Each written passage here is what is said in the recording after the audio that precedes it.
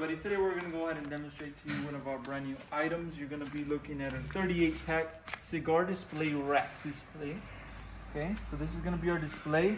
You see, this is gonna be two packages. So we're gonna be selling this by single. So what I mean by single is that you're only looking at one of these. So it's gonna be one, two, three, four, five. So only one row right here, only one side. Right here, you see it's a two package.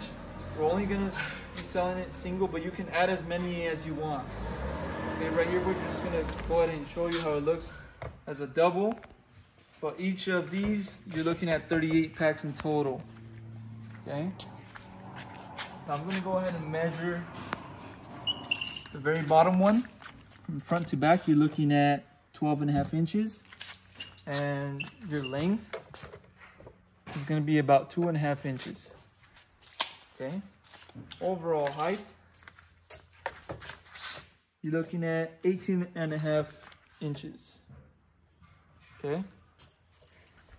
So it's 38 cigar packs in total for one of these. Okay, and you just slide up. Once you go ahead and place your cigar pack, it'll go all the way back just like that. Okay, simple unit.